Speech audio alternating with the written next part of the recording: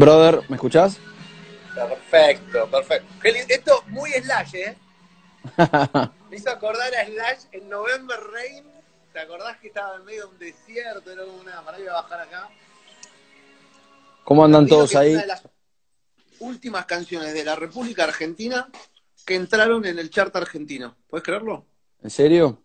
Sí, sí. Son pocos los artistas. Te sorprendería, Pato. Son pocos los artistas argentinos que entran en el chart. O sea, mirá, te los, te los hago de memoria. Está Tini, está Lali, entra Abel a veces, entra y sale Estelares, que tiene mucha radio. Bueno, ustedes, eh, bueno, y después mucho trap, ¿no? Eh, te, entra un Duki, un Paulo, pero de rock, digo, sacar el trap y el, el, movimiento urbano, claro. muy poco. La Berizo cuando sacaba música. Eh, Lo que pasa es que hay, hay, hay como... Em, la, música que, es más bailable, hoy, hoy tiene como un espacio más grande, ¿viste? Entonces tiene, tiene eh, se escucha, se escucha, ahora bajó un poco todo, es como que todos pusieron un, freno de mano y, no se escucha tanta música como, como quizás se piensa. O sea, hace, hace cuatro meses atrás, en pleno enero, en pleno febrero, la gente escuchaba muchísima más música que ahora. Este, y la música que se, que se escuchaba es, casi todo en el último tiempo es muy bailable, tiene que ver con, con lo festivo, con, con, con, el boliche, la previa, el, eh, eh, ¿no? Lo veo más como por ahí y creo que por eso están, veo todos los charts que están muy llenos de, esa, de música bailable, que está buenísimo. Te voy a, te voy a agregar data, porque mira qué bueno esta, esta puerta que abrís. Hay artistas como ustedes como Abel Pintos, que te lo nombraba, como Luciano Pereira, como Soledad, eh, que nosotros uno de los análisis que hicimos es que, por ejemplo, en Spotify se escucha mucho más un playlist completo, o sea, alguien que pone Airbag pone play y se escucha, se escucha distintas canciones, se escucha el repertorio. Lo que no pasa con los hits caribeños, por ejemplo, o con los chicos del trap, o sea, Bizarrap saca una canción, pa, pa, pa, pa, y la reproducen, la reproducen, y no va a ese mismo escucha a escuchar la que publicó hace tres meses.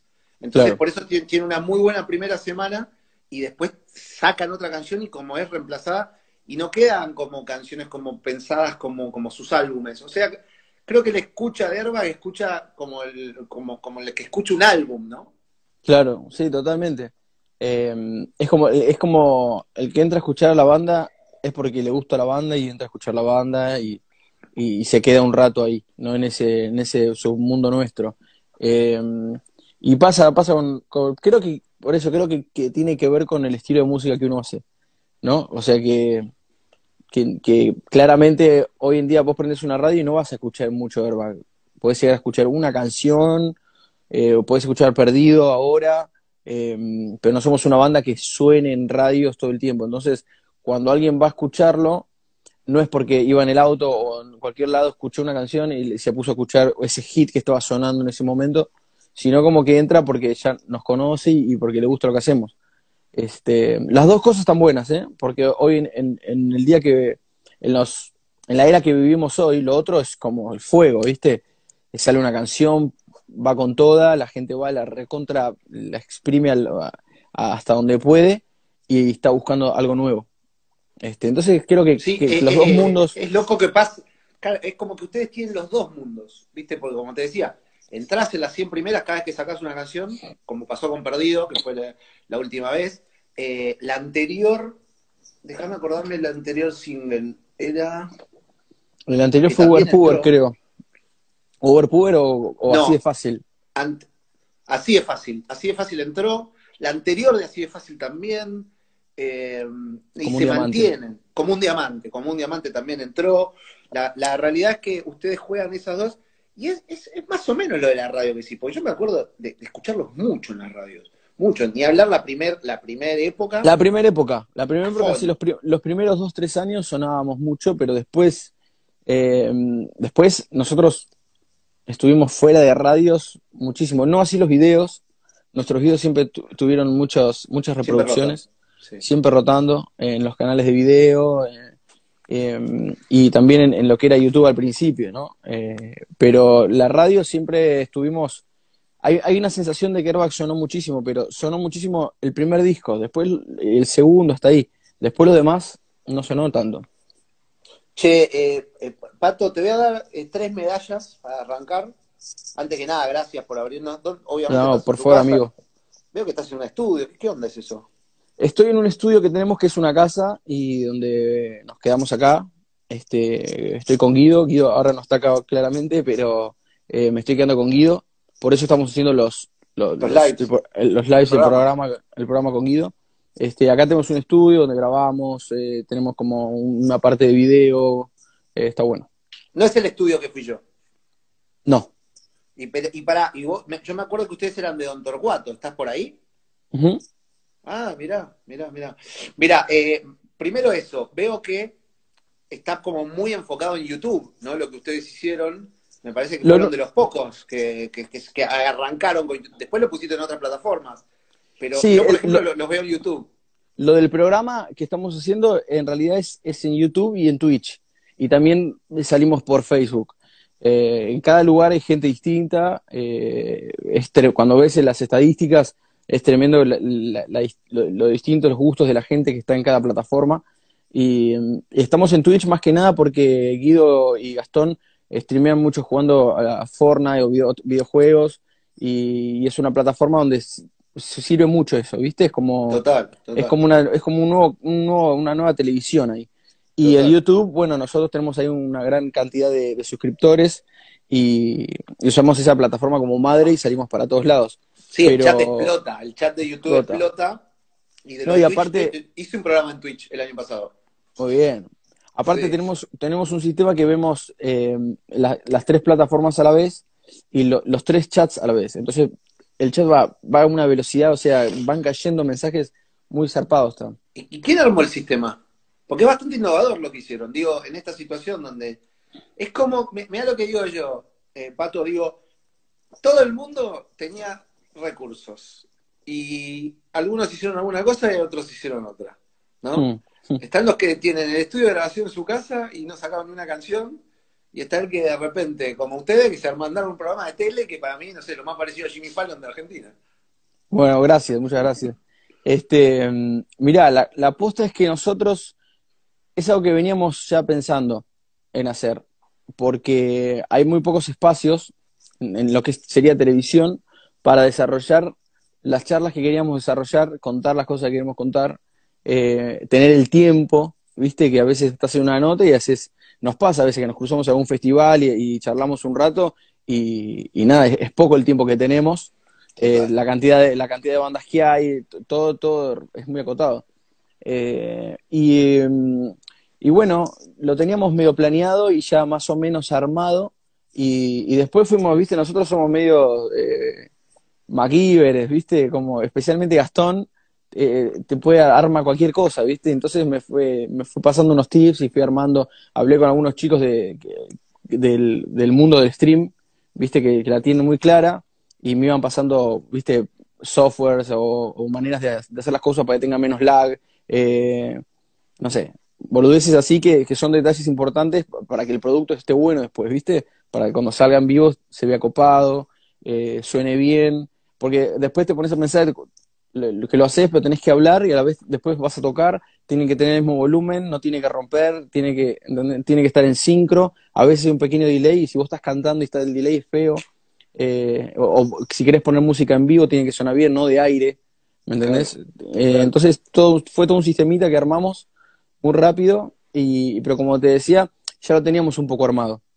Total. Detrás del rockstar que, que, todos vemos, ¿hay, ¿hay un nerd?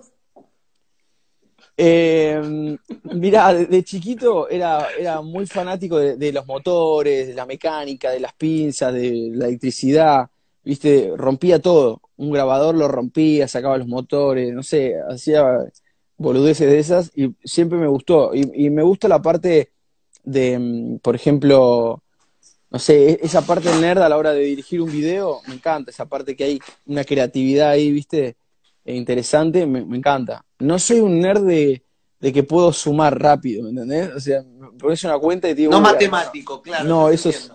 ni matemático ni... Como decís vos, son medio MacGyver. Eh, claro, viste, no, no tendría problema. Si se rompe una lamparita, me encanta arreglarla, ¿me entendés? Si una zapatilla rota, no tengo drama. Eso quiero, tiene que ver mucho con, con la guitarra para mí, ¿viste? Porque cuando vos empezás a tocar la guitarra, para, para entender el instrumento de la mejor manera, hay que desarmarlo. ¿Entendés? Tenés que desarmarlo, tenés que eh, ver los micrófonos, romper alguno, ¿viste? Eh, los amplificadores lo mismo, los pedales. Tenés que meterte en el mundo.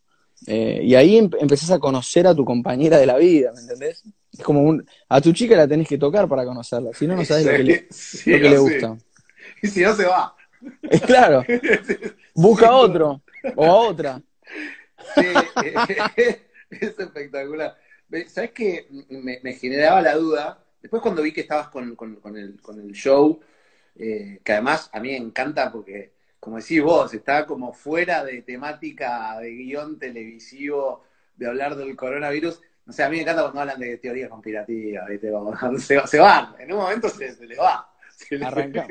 Y de golpe miramos el reloj, ¿viste? Y, son, y tenemos un contador ahí y, van dos horas de, programa, ¿viste? Que estuvimos ahí. Bueno, el, programa anterior estuvo Kea, eh, que, es de otro mundo, ¿no? del mundo del trap, del mundo del hip hop y estuvimos hablando, íbamos a hablar 15 minutos, 10 minutos, hablamos muchísimo más, o, con Iván Noble también. Eh, te pones a hablar, ¿viste? Porque la idea es esa también, ¿viste? Que no estemos, ¿viste? Corridos por el tiempo ni nada y que puedas decir que lo que va la publicidad y va la tanda. Claro, totalmente. totalmente, totalmente. Qué bueno, qué bueno. Qué bueno lo de queda. Y vos sabés que eh, mi, mi, mi, duda era esa. Era si en esta cuarentena, no sabía, no sabía que tenías estudio con bata, con todo, pero dije, ¿saldrá algo de pato? Eh, pero más versión live FL, o sea, viola, seguro, pero también cantando, y, no sé, una bata electrónica, uno, me, imaginé como una versión. ¿Pasó eso? ¿Se te pasó por la cabeza? Sí, pasó, incluso pasó en, en vos escuchás eh, Puber, Uber Puber, y, tiene mucho de eso, hay, hay, muchos elementos de ahí. Me, encanta el, el, FL, me parece que es súper didáctico y... y está bien. Pero para mí es el Chinese Democracy eso. ¿Entendés?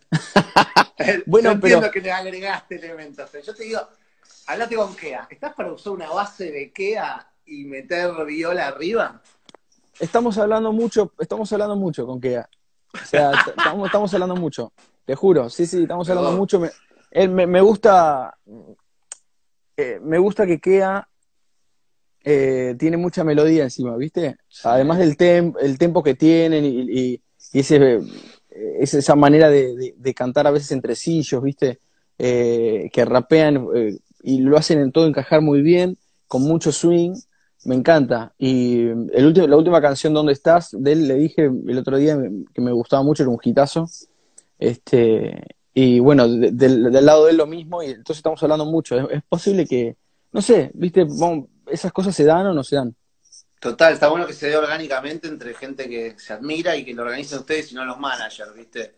Claro. Que es, suma mi música, suma. Si no suma, eh, y quedas atrevido, ¿eh? Queda, yo sé cosas que se vienen de él muy simpáticas y le gusta, le gusta, además, porque vos lo ves en vivo y parece Ferry con tu Mars. ¿Viste? El loco tiene, tiene una polenta arriba del escenario que muchos no lo saben y después se manda con, como me dijo Arcángel el otro día, esa vocecita dulce que tiene que ¿viste?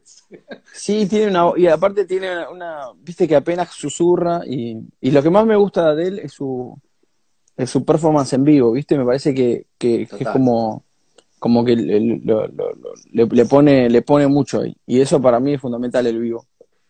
Che, eh, entonces el, es de largo plazo el, el show. No es que es algo que, uno creía que era por la cuarentena, para divertirse ustedes, puede, puede mm. quedarse. Y puede quedar, la cuarentena como que lo disparó, ¿no? Es como nos sentimos ahí de golpe acorralados y, con ganas de, del contacto con nuestra gente eh, y, lo disparó. Bueno, hagámoslo ahora y lo organizamos, salimos.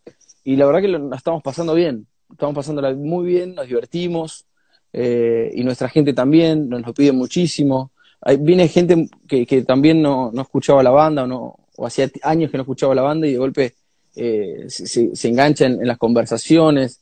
Eh, porque como decís, viste, pasamos por todos los temas, por podemos estar hablando del coronavirus o podemos estar hablando, no sé, cuando eh, te agarrabas a piña cuando ibas al colegio, o, de música, o de cine, o no sé, de medicina. Este, es muy bueno Guido, es muy bueno Guido. Guido ha encontrado una faceta eh, televisiva sorprendente. Guido sabe mucho, es, un pibe que, sabe mucho de historia eh, y, lee muchísimo. Es, un, no, no es un nerd, pero, pero estudia, estudió muchísimo y estudia, lee todo el tiempo, entonces está, tiene una cabeza muy, muy increíble. Sí, pero me hace reír, o sea, más allá de, su culto, ha encontrado un timing, ¿no? Porque es como que se ríe él mismo, ¿no? Sí, totalmente. Olvídate. Hay que bancar los chistes de uno, si no, no se ríe nadie, ¿viste? es verdad. Bueno, para, te dan tres medallas. Me tienes que decir cuál te colgás con más orgullo. La primera es ser parte de la legión de bandas de hermanos que incluyen a ACDC, Oasis, los Beach Boys. Eh, vos me entendés lo que te digo, que es bancar la parada familiarmente. Van Halen, está lleno. Eddie Van Halen, ¿verdad? ¿Tenés ahí? Van Halen. Hay más, ¿eh? Hay muchas. Hay más, sí, sí, claro. Hay muchas más. Pero bueno, es, es, es una raza dentro de la música, ¿viste? La banda que contiene hermanos. Eh, esa es la primera. Segunda medalla, haber mantenido la, banda viva a lo largo de todos los años y trasladar, si querés, el bullying inicial de algunos que decían esto no es rock, esto no es pop, es como que no encajaban en ningún, viste, en ninguna descripción de, en ese momento las discos, porque cuando salió su primer disco, yo me, acuerdo, Musimundo estaba full, era, ir a comprar, era ir a comprar el disco, el álbum. Eh, físico. Era eso, y de hecho ustedes vendieron una barbaridad. Y como que tuvieron su propia, y pasó, pasó, y Goy, a muchos de los que criticaban que ya no existen, ustedes siguen vigentes, segunda medalla. Y tercer medalla, algunos ya te dicen que sos el heredero de Jardino. Ya te nombran como el mejor guitarrista de la Argentina. Bueno, ya sabes, la palmadita en la espalda. Y te voy a agregar una cuarta, que la estoy mirando en los mensajes, que no, no la tenía mm, cotejada, que es que todos te quieren como el guitarrista de, este, de esta nueva camada. ¿No? Te quieren como el guitarrista mm. de Woz, te quieren con Kea, te quieren con Duque, te quieren con Pablo, te quieren con Caso, te quieren con Lali, te quieren con Tini, no solamente con el trap. Es como que todos cuando dicen, che, el Guitar Hero, lo quieren a Pato Sardelli. O sea que te incluyen la tercera eso. ¿Cuál, ¿Cuál de las tres te colgás con más, con más orgullo? Eh, bueno, por empezar, no, a Jardino no le llevan en los talones Walter es, un genio eh, y cualquiera, cualquiera de los guitarristas de los que yo aprendí que me gustan o, que tienen una palabra de elogio hacia mí, no, es, es, todavía hay un largo camino de aprendizaje, ¿no? Y después, eh, lo de los hermanos, es verdad, hay como una legión de bandas que, mientras hablabas me acordaba un montón también, de Dire Straits también. Dire Straits, ¿eh? Eh, son hermanos, bueno, los oasis lo nombraste vos. Eh, en el folclore eh, está lleno. En el folclore, en el folclore hay un montón. Acá, acá en Argentina también hay un par. Eh, Jonas Brothers, pienso ahora. Pero los Jonas Brothers vinieron después de nosotros, eso a mí no, eso a mí no me importa. Yo quiero todos los que están antes, ¿viste? De nosotros. ¿Viste? Cuando empezaron y decían Jonas Brothers, ¿qué es Jonas Brothers? Y los Jonas Brothers vinieron después de nosotros. A ellos le tienen que decir, che, son los servos americanos, ¿entendés? Eso es lo que me da, lo que más bronca me da, ¿viste? Pero pará, porque somos latinos, boludo, no, no, no, nos, no nos ponen primero.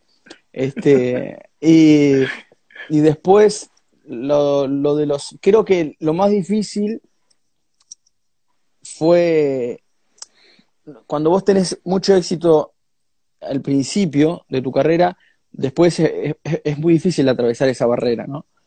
Eh, y nosotros con el primer disco, como decías, era, fue una locura sacamos el disco y fue disco de oro y a los tres meses disco de platino.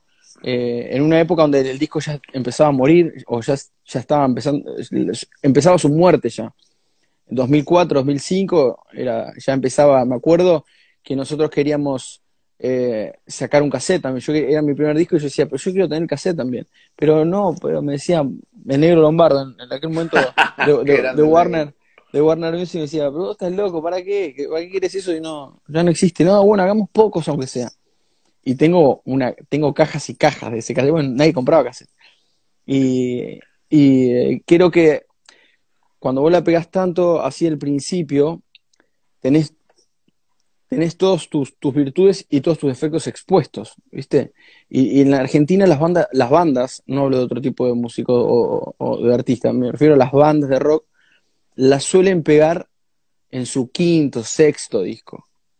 Cuarto, bueno, estaban los, estaban los 10 años de Pop Art, no sé si, si conocías esa frase, que durante los 90 y los 2000 tenía que tener 10 años de escenario y si no llevaba 500 personas y después 800 y después 1000, no firmabas un contrato discográfico.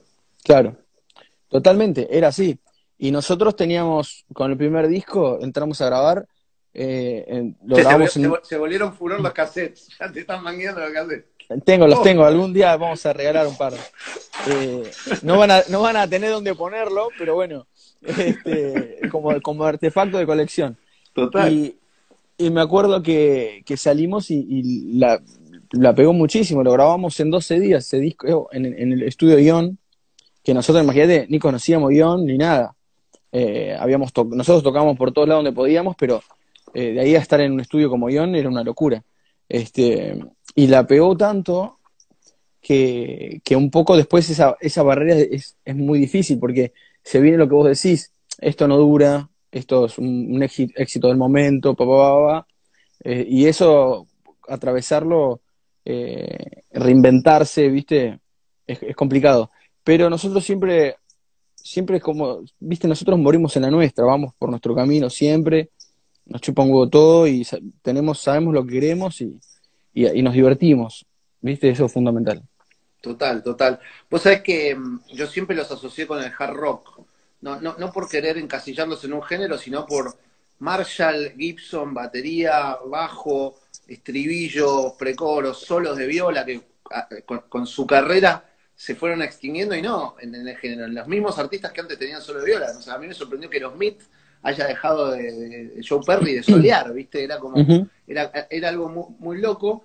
¿En algún momento tuviste miedo de que lo que hacían estaba como, no sé, poniéndose de telaraña, como que estaba quedando caduco? ¿Lo pensaron en algún momento diciendo, che, este género es de la década del 90? Digo, ustedes lo mantienen vigente hoy, perdidos el ejemplo. Pero en algún momento tuviste como el pensamiento de decir, che, ¿va por este lado? eh, es que es, lo que sucede, es en un género que hacemos nosotros o, la, forma de hacer las cosas que hacemos, siempre tomamos elementos de vanguardia igual. O, tuvimos momentos, hemos hecho cosas que, nadie hizo y después empezaron a hacer, por ejemplo. Desde la, forma de filmar videos, eh, con Cae el Sol abrimos una puerta eh, que, demostrar una, demostrar realidad, de, hacer videos si, si, tienen que ser crudos y fuertes que sean, eh, de hacer como estrenos de los videos, eso no pasaba desde el principio de los 90. Eh, todo lo que era la década del 2000 no, no, no había una impronta sobre los videos importante, y ahora los estrenos son videos. Y nosotros desde Cae el Sol que dijimos, esto, que ahí, fue cuando empezamos a dirigir, empezamos a darle todo un, empuje, una mística a los videos, estrenos en, canales de televisión, en, noticieros. Todo eso salió eh, con, con, Cae el Sol. Y 20 años después, te puedo decir que el video hoy volvió a como la década del fin del 80-90, que volvió a ser el rey, el video. Claro, totalmente. Totalmente es como tiene un, protagonismo muy. Lo visual hoy es muy importante. Eh, y después, no sé, hay cosas como cuando hicimos el sinfónico, eh, el último sinfónico que se había hecho era el de Cerati, este, en el Colón. y después era como, eso estaba extinguido mal. Y cuando empezamos, con, cuando hicimos el primer sinfónico, te juro, Santi, todo el mundo decía, ustedes están locos, ¿para qué van a hacer esto? El primero que eh, es muy, es muy caro, porque son muchos, muchos músicos, muchas personas, mucha técnica. Y nos decía, ustedes están locos, bueno, queremos hacer igual, fuimos, lo hicimos, fue un éxito, lo hicimos, después hicimos el Luna Park, y a los cuatro meses empezaban a salir sinfónicos por todos lados, o sea, eh, incluso salió un, ciclo de, que, tiene un título, eh, claro, y... Únicos. Los, los únicos, ¿no? Y, y empezó... Hernán, Hernán con Sinfónica. Hernán Cataño también. Este, por eso de golpe, pa, lo empezamos a ver el sinfónico por todos lados, que, lo cual a mí me da un orgullo bárbaro, ¿viste? Yo lo vi y me encanta, digo, buenísimo. Este, pero así un montón de cosas suceden que, que nosotros ah, vemos y hacemos y que después terminan sucediendo y, y que creo que eso es lo que nos mantiene también muy vigentes. Total. Eh, porque a pesar de, de, como decía, ser una música que tiene más que ver con otras décadas, eh, siempre somos una banda que está vigente y que, y que tratamos de mantener una frescura en, en, en lo que hacemos. Sí, la música es música, ¿no? Eso está música claro. O te gusta o no te gusta, para mí tampoco es que tiene. Eh, de hecho, me acuerdo cuando, cuando salieron las bandas que sonaban igual a Zeppelin, pero en la década del 2000. Eh, Claro. Como Wolf Mother, ¿viste? O ahora Greta Van Fleet, ¿viste? Que vos decís, Ujú. Está bárbaro, está buenísimo. Pero no es un invento esto. Esto es un, un homenaje con elementos nuevos. O, o no sé, te llevo a Lo que pasa- con los Stones, ¿viste? Lo que pasa es que ya está.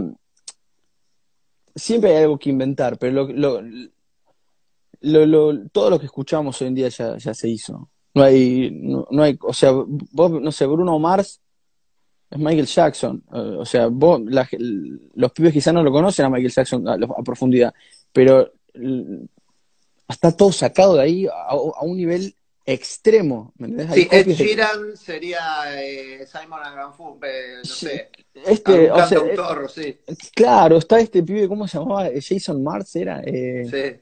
Es igual al Sheeran y, y le tiene, no sé, 15 años más. Y después, eh, can- cantautores de ese estilo hay 200.000. O sea, nuevo, todos los, lo- o el hip hop de hoy en día, eh, vas para atrás y lo encontrás también, ¿entendés? Hay The Weeknd es otro afano a Michael Jackson, pero fuerte. O sea, fuerte. Hasta el tono de voz.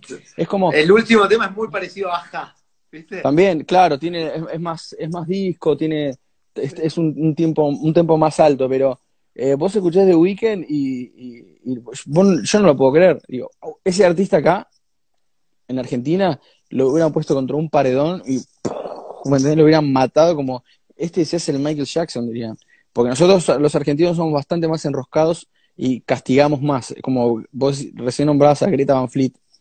Si Greta Van Fleet hubiera salido en Argentina, hubieran, hubieran dicho, ¿quién, ¿qué se hacen estos los Led Zeppelin? ¿Me entendés? No es que, y ahora acá es el mejor disco, Greta Van Fleet, reivindicación del rock. Sí, pero sale una banda acá argentina y la destruís, ¿me entendés? O sea, la crítica pará, la hubiera me encanta, me encanta esto. ¿Quiénes fueron las últimas bandas globales que para vos cambiaron el eje? Si te digo, no sé, ¿Nirvana cambió el eje? Nirvana cambió el eje, sí, obvio. Nirvana inventó un género, o sea, lo puso un género, inventó un género, una, una forma de ver el mundo. Este, que a la vez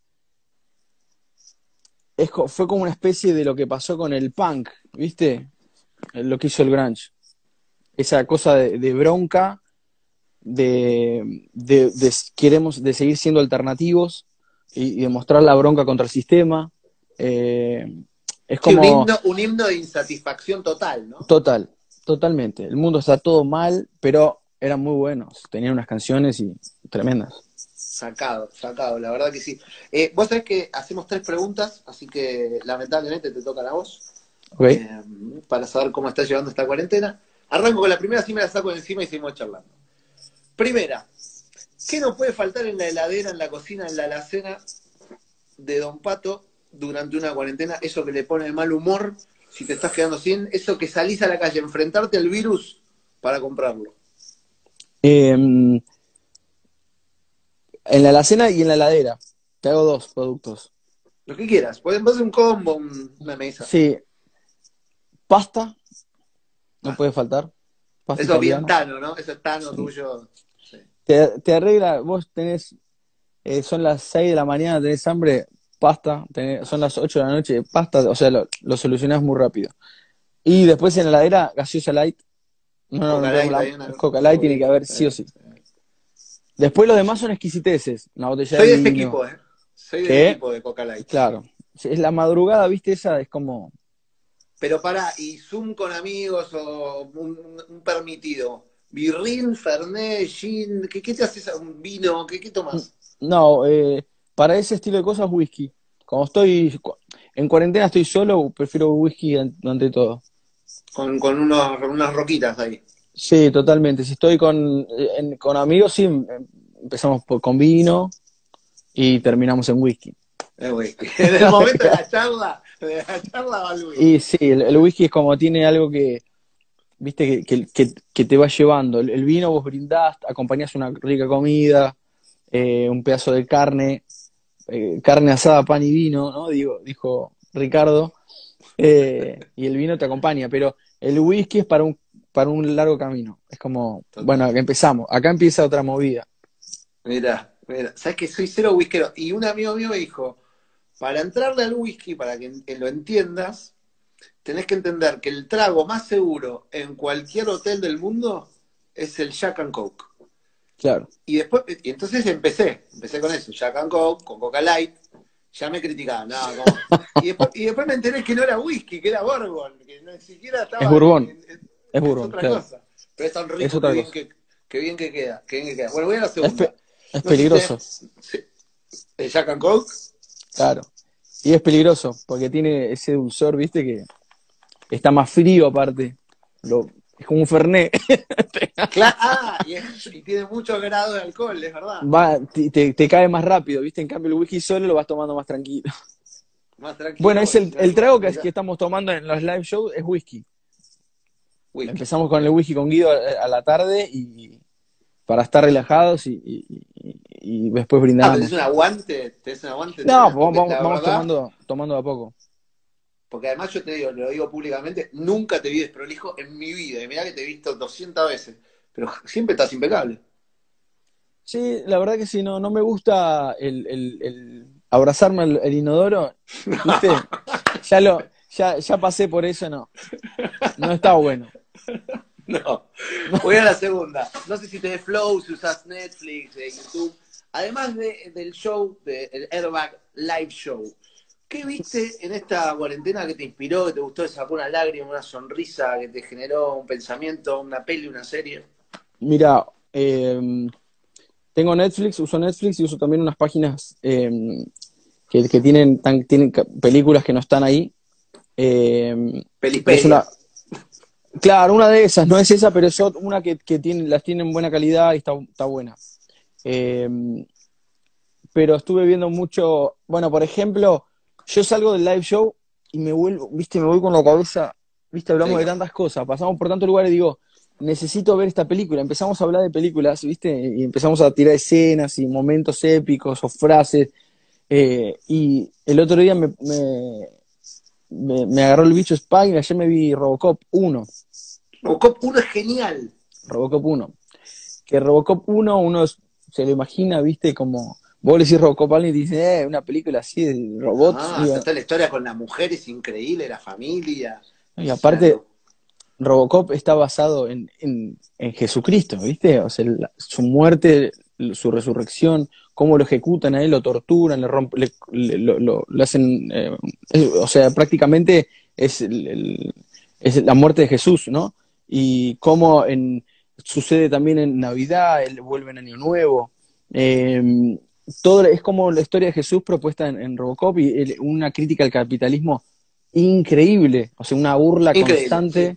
Eh, yo se las recomiendo a todos que la vean, porque aparte, y aparte tiene unos, eh, unos efectos, está, está muy bien. La ves hoy, es una película de 1987.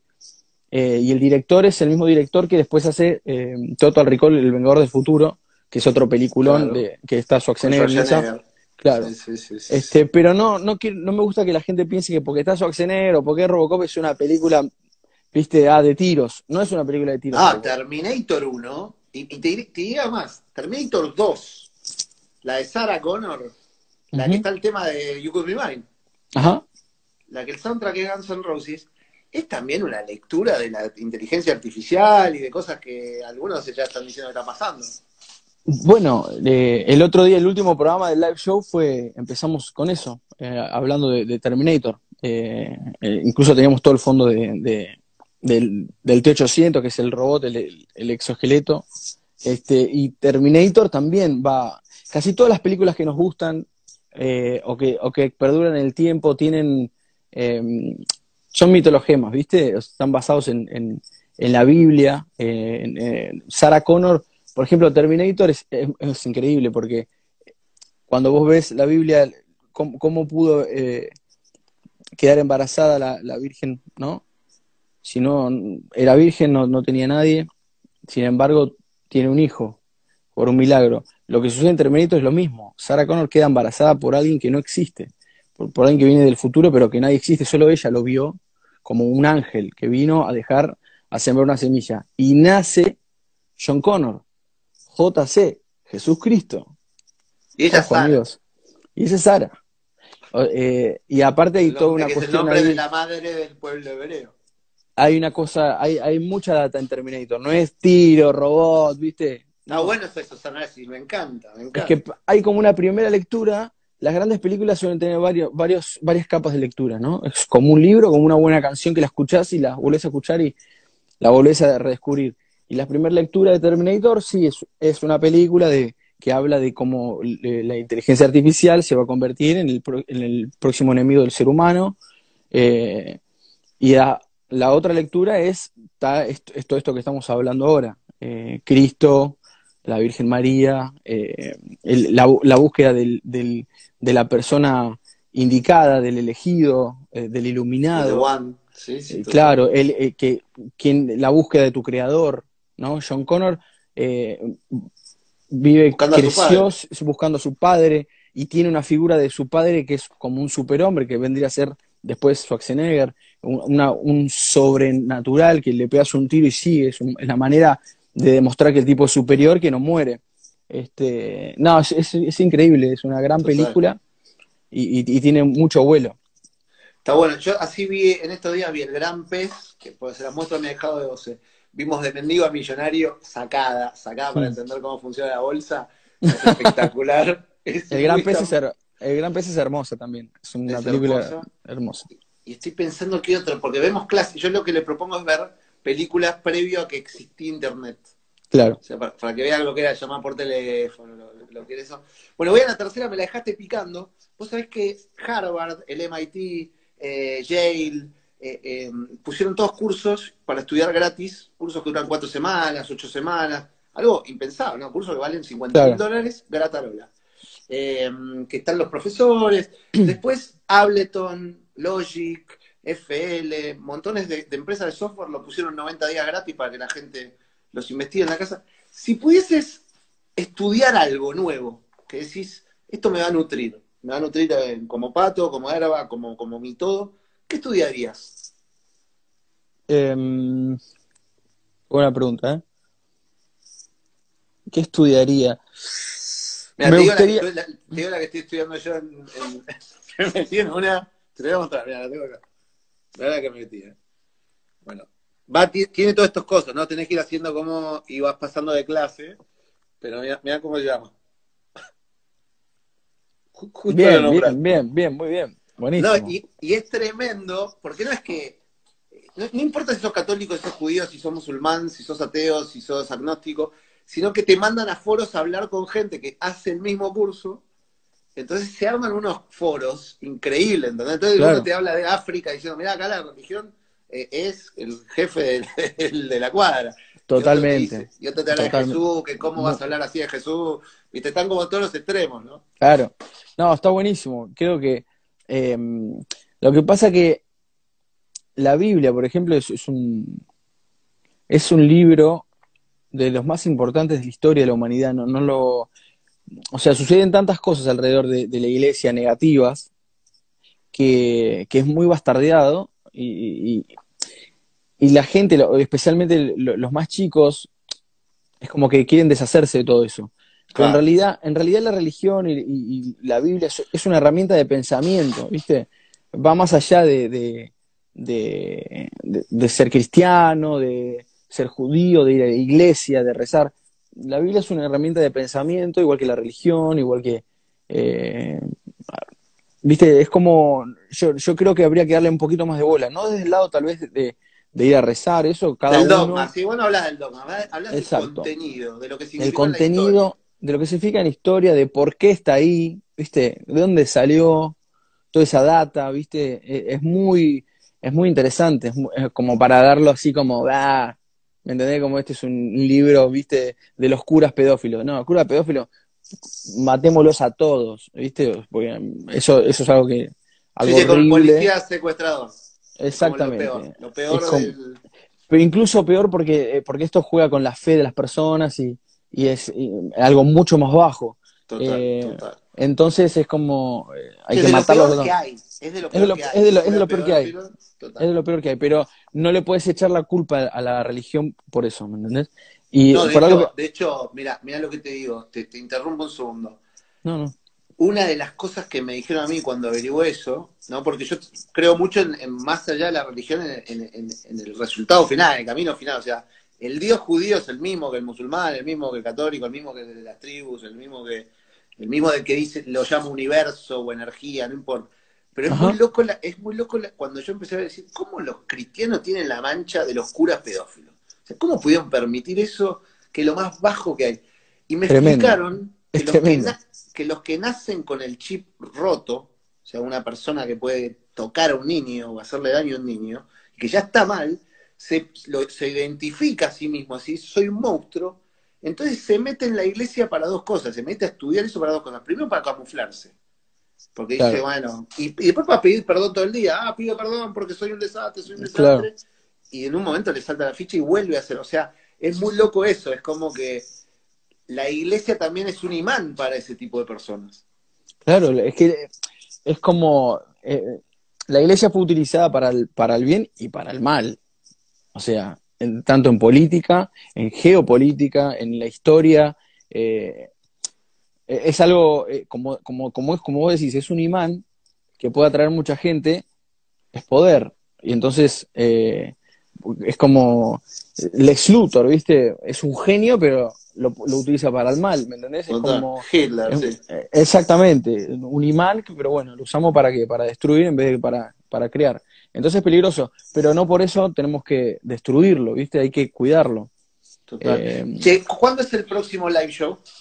El próximo es el miércoles. Este, estamos haciéndolo casi todos los miércoles salimos y tal vez hacemos un domingo o un Domingo y viernes. yo, sí. Claro, este, pero el miércoles es como la- el, el día El de día fijo. fijo, claro. Voy a estar atento el miércoles. Bueno, para cerrar, te voy a hacer un juego de, de guitarristas, porque me divierte simplemente. Ok, Hay que llegar a cinco. Las reglas las pone la casa. ok. Yo, yo te voy a dar dos opciones, tienes que elegir una. Va a Y te estar vas difícil. dando- es como un partido de truco. Arranco sencillo. Kirk Hammett o Eddie Van Halen. Eddie Van Halen, ni duda. 1-0 ganas vos. ¿Por qué? Eddie Para, para, para, ¿por qué 1-0? Ya te vas a dar cuenta. Ok, Arrancaste ganando con Eddie Van Halen. ok. Entonces, Eddie Van Halen Ah. o Walter Jardino. Lo que pasa es que habría que. Le faltan slots a la pregunta. Es así. Es verdad. Walter Ja- No, es verdad. Tenés Le que faltan elegir lo que el corazón te dice en este momento. Por gusto, Y- no, no, no hay razón. Sino que. Walter. que ele- Walter. Walter Uno igual, No, lo que pasa es, ¿sabes qué? Sí. No te voy a elegir, no te voy a elegir Walter, porque me vas a poner otro argentino. Entonces, como no quiero esa pelea argentina argentino argentino, porque elijo a Walter puede ser argentino, pero no, me Lo que quedo con Van. Halen. Van Halen, dale. Seguimos con Van. Halen. Estuviste a- Yo te voy a decir un dato. Si elegías a Walter Jardino, te empataba 1 a 1. Estás 2 a Ok. 0 ganando. Ok. Eddie Van Halen, Eddie Van Halen o Jimmy Page. Jimmy Page. 2 a 1. Gol para mí. Jimmy Page o Joe Perry.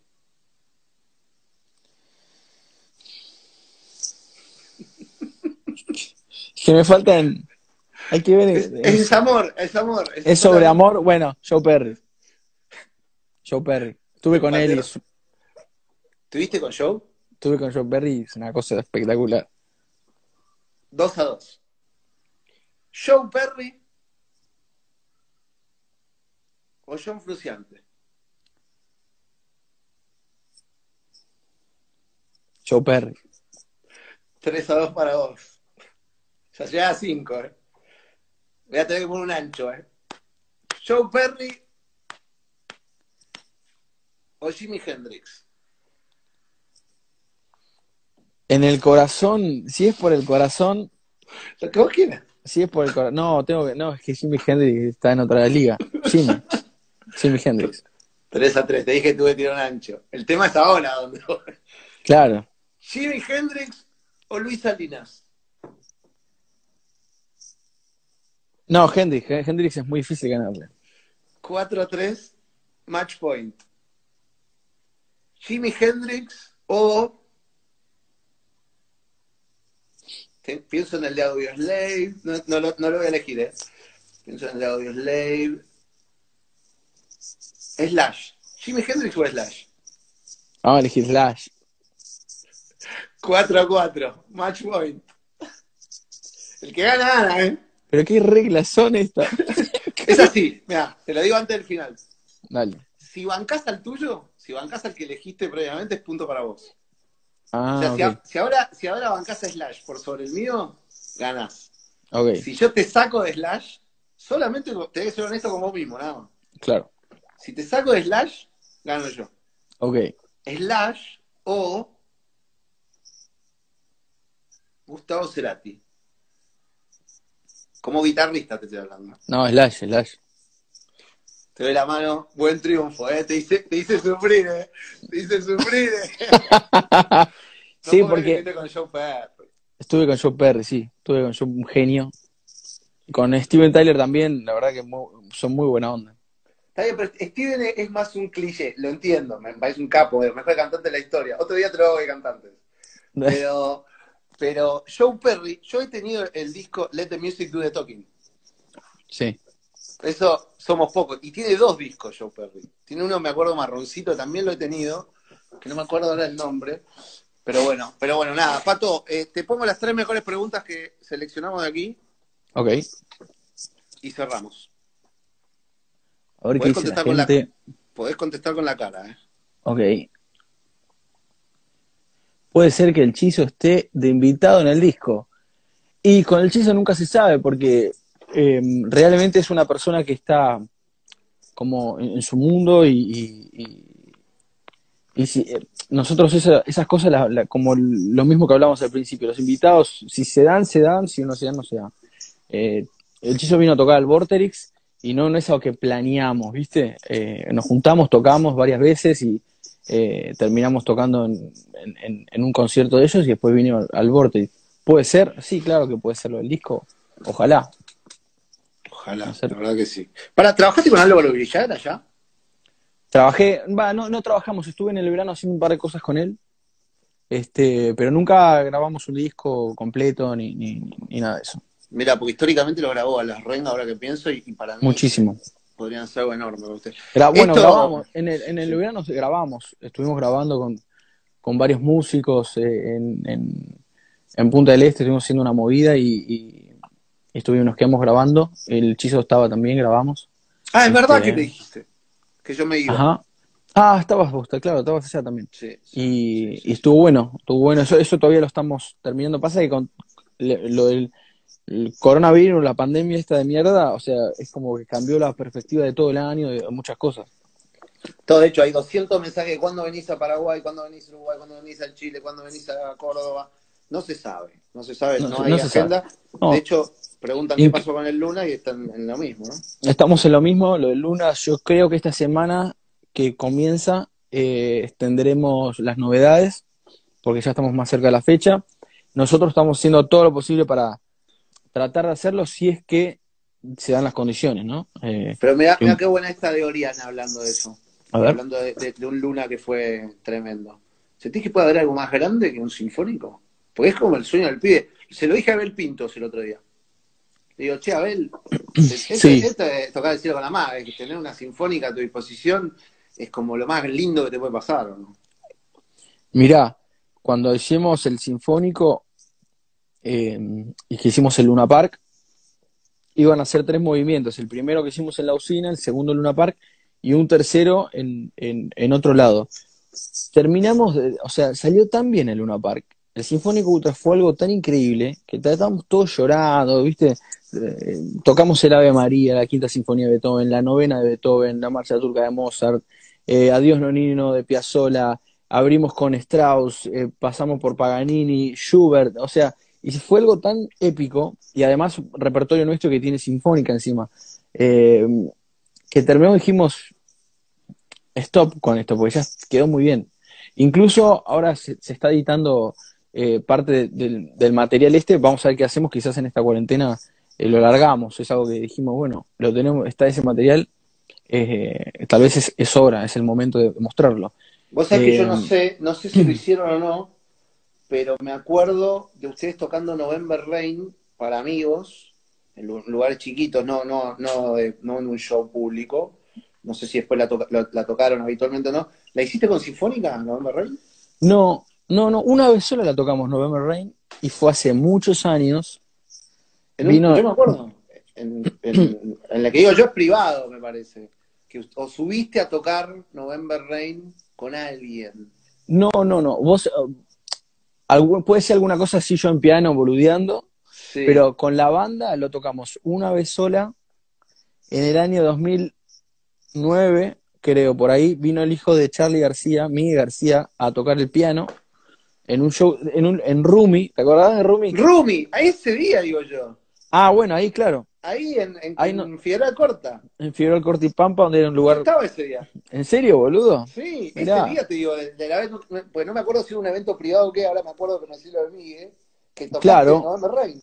Fue un evento medio privado porque creo que nos entregaban un, el DVD de, oro, una cosa así. Eh, un DVD de oro que habíamos sacado y, hicimos una fiesta y fue una cosa privada, sí, sí, tal cual. Y, pero también había gente, me acuerdo que eh, bueno, fue una noche, uh, esa, uh, me estoy acordando de cosas.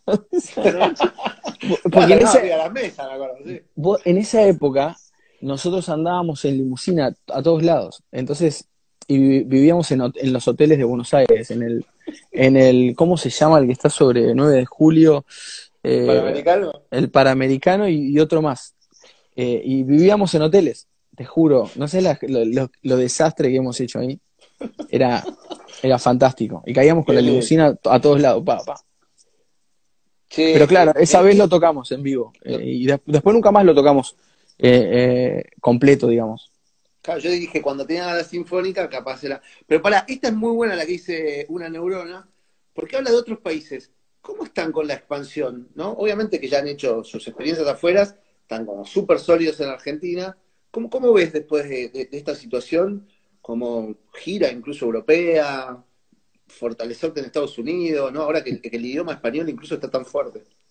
Bueno, este año eh, teníamos planeado México, lo, ya la, fecha de México ya, se pasó, eh, Perú, Colombia, eh, Bolivia, Paraguay, España, Barcelona, eran todo se puso todo todo stop, pero está eso ahí en, para que cuando pase todo esto se remonte. Che, Pato, íbamos a hablar un ratito, nos fuimos a, bueno, carajo. Eh, agradecerte esto, en cualquier momento se corta, dice que a la hora corta Instagram. Así que te, nada, primero agradecerte, sabes lo que te respeto, que te admiro, me pareces un tipazo, eh, te quiero, así que, que nada, un placer poder saber cómo Gracias, brother. Saludo ahí a, toda, a toda la familia y cerrame con una, cerrame con, te doy el poder para cambiar una cosa del mundo que recibimos al que, como le digo yo, nos van a dar cuando liberen a Willy. Se empieza a liberar la cuestión, aparece la vacuna. Te doy el poder de cambiar una cosa. ¿Qué cambias? Eh, como no hay mucho tiempo y no podemos eh, expandirla mucho, creo que es algo que vos y yo lo, vamos a... Porque sí, podría decirte el hambre en el mundo y todas esas cosas que es algo que queremos todos, pero para hacer algo más gracioso, trataría de que la Coca-Cola tenga el mismo sabor en, todo, en todos los países. Porque cambia, ¿viste? Lo decís por Uruguay, además, yo, te entiendo. Y eso es un drama, ¿viste? che, igual muchos tiraron la distribución de la riqueza, no sé si viste The Hole. No, no la vi. Bueno, en ese sentido de cómo analizamos las películas, de lo nuevo que hay en Netflix, y en Flow y no sé qué, te recomiendo tres cosas. La de Jordan, tremenda. Poco ortodoxa. La vi. ¿Viste el final? Bien el final, ¿eh? Me falta ver el último capítulo, no lo vi. Porque Ese, pero ese, ese es el único que cuenta. me pudre, boludo. No puedo ver series, boludo. Me cuesta pará, muchísimo. Último, No, último esfuerzo. Ese, ese la, es la el voy a ver. capítulo. La, voy a- la tengo que terminar. Ese y, y te iba a decir cuál era. Te dije, poco ortodoxa, la de Jordan. Ah, y el hoyo. Mirá el hoyo para verlo del tema de la distribución de la riqueza. Te va a interesar. La voy a ver. Así la analizan ahí en el programa y nada. Los veo el miércoles ahí y en el mundo real cuando sea posible. Dale, brother. Muchas gracias a vos. Nos vemos. Cuídate. Saludos ahí a, la- a tu gente que está del otro lado. Vamos. Abrazo enorme. Un genio.